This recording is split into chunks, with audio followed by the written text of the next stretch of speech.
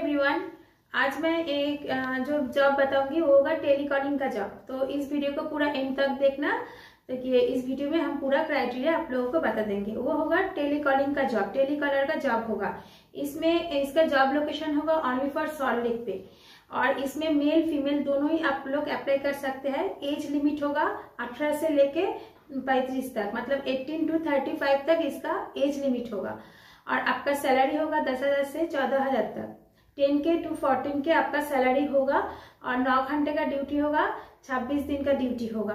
और पूरा जो पी ए पी एस है इंटेंसिव जो जो फैसिलिटीज़ है, वो सब आपको मिल जाएगा।